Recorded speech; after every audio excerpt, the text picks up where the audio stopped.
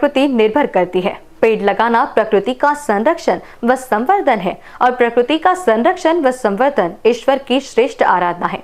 एक पेड़ लगाने से असंख्य जीव जंतुओं के जीवन का उद्धार होता है और उसका अपार पुण्य सहजता से हासिल होता है। एक तरफ़ से पेड़ लगाने से अपार पुण्य की प्राप्ति होती है, इसलिए पेड़ लगाना ज़रूरी है। यही संदेश देते हुए शनिवार को शहर के गाड़ी खाना स्थित न्यू होरिजन पब्लिक स्कूल के बच्चों ने वृक्ष दिंड लगाकर पेड़ों का महत्व बताया। न्यू हॉरिजॉन पब्लिक स्कूल की ओर से आयोजित इस वृक्ष दिंडी कार्यक्रम में प्रमुख अतिथि के रूप में Mrs Universe third runner up और कारा न्यूज़ की चेयरमैन जोया शेख उपस्थित हुई थी। आज पेड़ लगाना बहुत ज़रूरी है। आज हम सभी अपने स्वास्थ्य के लिए पेड़ तोड़ देते हैं, मगर इसके परिणाम की चिंता हम नहीं करते हैं। देश में पेड़ों की संख्या बढ़नी चाहिए और साथ ही लोगों में जन जागृति हो। इस मुख्य उद्देश्य से न्यू हॉरिजॉन पब्लिक स्कूल की ओर से जन जागृति वृक्ष दिंडी निकाली गई। इस वृक्ष दिंडे के बारे में हमारी टीम ने स्कूल के मुख्याध्यापक से बात की तो उन्होंने बताया कि आजकल के बच्चों को पेड़ पौधे की जानकारी नहीं होती है। पेड़ लगाने से क्या फ़ायदे हैं? इस बात की जानकारी भी नहीं होती है। यही कारण है कि हर साल स्कूल की ओर से ये कार्यक्रम आयोजित किया जाता है। इस कार्यक्रम का पूरा आयोजन स्कूल के बच्चों ने ही किया है। साथ ही दिंडी में जो संदेश लिखे गए हैं, वो भी बच्चों ने ही लिखे हैं। ऐसी जानकारी स्कूल के मुख्याध्यापक ने दी। पर्यावरण का यह है कि अपन जो पेड़ अपन लगाते हैं पेड़ से पेड़, पेड़ से अपने को ऑक्सीजन मिलता है। जो जो जो आजकल जो प्रदूषण होता है लोग पेड़ काटते हैं पेड़ का उनको कोई महत्व नहीं समझता। इसलिए जो आज की जो पीढ़ी है यहाँ पे उनको भी समझना चाहिए पेड़ क्यों लगाते हैं। इसलिए मैंने जो अपने अपने स्कूल में हम जो एक एक जो सब्जेक्ट रहता है पर्यावरण का और बाकी के लोगों को भी मालूम होना चाहिए बच्चों को मालूम होना चाहिए पेड़ से क्या मिलता है ये पेड़ क्या है। काफ़ी लोगों को मालूम है ये पेड़ का नाम ही नहीं मालूम। मैं आपको एक सबसे बड़ी बात बता दो जो मूंगफली होती है मूंगफली। काफ़ी लोगों को नहीं बोली मूंगफली वो फली नीचे लगती क्या ऊपर लगती है? इसलिए हमारा प्रयास था कि भाई बच्चों को अपन ने बताना चाहिए ये मूंगफली का पेड़ है। प्रैक्टिकली नॉलेज बताते नीचे ज़मीन के नीचे फली लगती है ऊपर भी रहता है। तो पर्यावरण का यह है क्या उसे अपने आँखों को एक बोल दिया अगर आपका मेरा परिसर देखोगे तो हरे हरे झाड़ देखो। इसके बाद एक आदमी जब अपने आता है हरे पेड़ को जब देखता है तो उसको एक एक शांति मिलती है। एक, एक अपना हरा कलर बोलते शांति का प्रतीक भी है। देखो ताजुद्दीन बाबा का जो फेटा है जो भी जो भी ये है उसको क्या बोल उसको जो है उसका भी कलर हरा है। तो उसे देखो उसे शांति मिलती है। हरा कलर एक शांति का रूप होता है। इसलिए मैं चाहता हूँ कि पर्यावरण पर्यावरण होना चाहिए पेड़ लगना चाहिए और लोगों को संतु ये जो अपना इसका है पूरा इसका संतुलन होना चाहिए। हाँ। आपने कुछ ऐसा किया है हाँ तो मैंने बच्चों को बताया आप अपने घर में एक एक पेड़ लगाओ। कम से कम तुलसी का पेड़ तो भी अपने घर में लगाओ। अगर देखो, आज के तारीख में क्या होती है, आज के तारीख में लोगों के घर में जगह नहीं है। तो मैंने कम से कम तो आप तुलसी का पेड़ लगाओ, तुलसी के पेड़ से आपको ऑक्सीजन मिलता है। तो आप बाद में आप जाओगे तुलसी को पानी डालोगे, एक तो उनको हैबिट हो जाएँगे भाई अपने को अपने तुलसी काफ़ी लोगों को मालूम है, कई कई बार जाओ तो लोगों को तुलसी का पेड़ भी नहीं मालूम वर्ड का पेड़ भी नहीं मालूम। तो इसलिए अभी अभी काफ़ी लोगों ने पेड़ लाया अलग अलग लाया तो इसको सब लोगों को मालूम है, गुलाब का फूल मालूम है सबको, बाकी लोग नहीं मालूम। इसलिए मैं हर बच्चे ने हमारा एक प्लान लाया। वो प्लान हमने समझा कि दिया बच्चों को, कि भैया इसको ये प्लान बोलते हैं, इसका वो ये ये इसको ये प्लान है। सब प्लान के बारे में कम से कम सौ, डेढ़ सौ सौ प्लान अलग अलग उनको बताया कि इसका उपयोग है सारा। आज बस अब, अभी अब बच्चों को लेके जाएँगे, सब पेरेंट्स देखेंगे, लोग देखेंगे, बोले चलो भाई, इनको भी नहीं तो इनको कुछ दिन के बाद अपने को चित्र में बताना पड़ेगा, ये प्लांट है। क्योंकि अपने नागपुर में तो पूरा जंगल जंगल ही है। तो पेड़ पेड़ काट रहे हैं, वहाँ पे जंगल।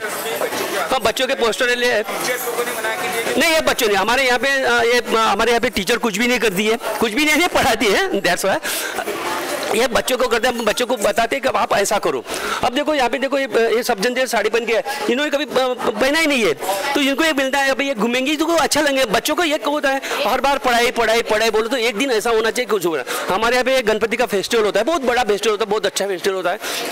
तीन दिन का फेस्टिवल होता है बहुत मज़ा आती है। हम चाहते हैं कि एक इन्वायरमेंट अच्छा हो जाएगा अरे पारिवारिक पारिवारिक जो बोलते हैं, उसको पारिवारिक स्कूल अभी देखो, मैं बच्चे के साथ मैं खुद जाऊँगा तो बच्चे मेरे साथ रूबरू हुए, नहीं तो कई स्कूल के डायरेक्टर है, दिखते नहीं। तो मैं मैं वो हूँ कि मैं, हर बच्चा मेरे को पहचानता है और बच्चा मेरे को देखता है तो उसको लगना चाहिए डायरेक्टर ऐसे होती है, नहीं तो उनके लगा डायरेक्टर कैबिन में बैठे हुए ऐसा नहीं है, जैसा मैं। कार्यक्रम में प्रमुख अतिथि के रूप में उपस्थित जोया शेख से भी हमारी टीम ने बात की। इस पहल के बारे में बोलते हुए उन्होंने कहा कि पर्यावरण की ओर किसी का ध्यान नहीं है। इस ओर ध्यान देकर अपने घर पर पेड़ लगाना चाहिए। साथ ही ये सीख अपने बच्चों को भी देनी चाहिए कि पेड़ लगाने से हमें ऑक्सीजन मिलता है। इसी कारण स्कूल का ये उपक्रम सराहनीय है। अच्छा लग रहा है क्योंकि आजकल इन्वायरमेंट पे हर कोई ध्यान नहीं देता है। तो मुझे ऐसा लगता है कि इन्वायरमेंट पे ध्यान देना चाहिए और हर किसी ने पेड़ लगाना चाहिए। हमने भी हमारे घरों में पेड़ लगाना चाहिए। हमने भी हमारे बच्चों को ये सीख देनी चाहिए कि बचपन से ही आप लोग प्लांटेशन करिए, टी ट्री प्लांटेशन करिए। ये ऑक्सीजन के लिए बहुत अच्छा है, हमारे इन्वायरमेंट के लिए बहुत अच्छा है। तो ये इन्होंने, जो कमलाकर सर जी ने न्यू हॉराइजन पब्लिक स्कूल ने, ये जो उपक्रम चलाए, बहुत ही सराहनीय है। पर्यावरण के बारे में बात करते हुए जोया शेख ने कहा कि सभी और पेड़ काटे जाते हैं, मगर इसकी तुलना में नए पेड़ नहीं लगाए जाते हैं। उन्होंने कहा कि अगर सौ पेड़ कटे जाते हैं तो इसकी तुलना में हज़ार पेड़ लगाना चाहिए। जी हाँ बिल्कुल लगती है। अभी आप अगर शायद आसपास अगर अपने नागपुर में अगर आसपास देखते हैं तो मुझे ऐसा लगता है कि इतने सारे पेड़ कटे हैं, लेकिन उसके बदले में ट्री प्लांटेशन नहीं हुआ है। अगर 100 प्लांट अगर कट रहे तो हमें उसके एवज में कम से कम हज़ार प्लांटेशन तो करना चाहिए। तो ऑफकोर्स ये हो रहा है तो ये एक बहुत अच्छी पहल है इनकी, कि आज उन्होंने बच्चों के थ्रू और आप देख सकते हैं यहाँ पे कितने सारे पोस्टर्स हैं, उनके थ्रू वो बता रहे हैं कि इन्वायरमेंट को सेव करना बहुत इंपॉर्टेंट है। बच्चों के इस पहल के बारे में प्रतिक्रिया देते हुए जोया शेख ने कहा कि इन बच्चों से सभी ने सीखना चाहिए। देखिए मेरा यही बोलना है कि हमें हमारे इन्वायरमेंट को साफ़ सुथरा क्लीन रखना है।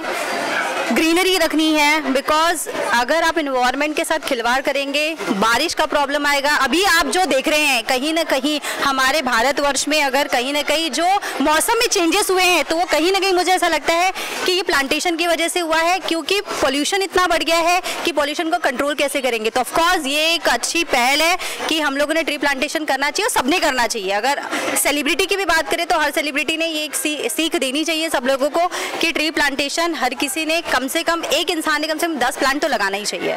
जोया शेख एक सेलिब्रिटी भी है और इस भूमिका में रहकर उन्होंने कहा कि हमें हमारे पर्यावरण को अच्छा रखना चाहिए, साथ ही अपने आसपास का परिसर हरियाली रखना चाहिए। साथ ही उन्होंने कहा कि न्यू होरिजोन स्कूल की तरह देश के सभी स्कूल ने ये पहल करनी चाहिए। जी हाँ बिल्कुल। मैं तो चाहती हूँ कि हर स्कूल ने अपने बच्चों को और हर स्कूल में भी ये प्लांटेशन होनी चाहिए। हर स्कूल ने ऐसी रैली निकाल के हर जगह, पूरे इंडिया की इंडिया की बात कर रही हूँ मैं, हर जगह स्कूल में बच्चों ने ये पहल चलानी चाहिए और हर टीचर्स ने इसको बढ़ावा देना चाहिए कि ट्री प्लांटेशन इज़ मस्ट मैं तो बोलती हूँ, साल में एक बार आता है इन्वायरमेंट डे लेकिन हमने बारह महीने तीन सौ पैंसठ दिन हमें ये ट्री प्लांटेशन करना चाहिए।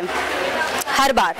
थैंक यू इस वृक्ष दिंडी में बच्चे विविध वेशभूषा में दिखाई दी कोई साड़ी पहनकर तो कोई बारकरी वेशभूषा में दिखाई दी कैमरा पर्सन अजित कुंवर के साथ अभिषेक पानसे की रिपोर्ट।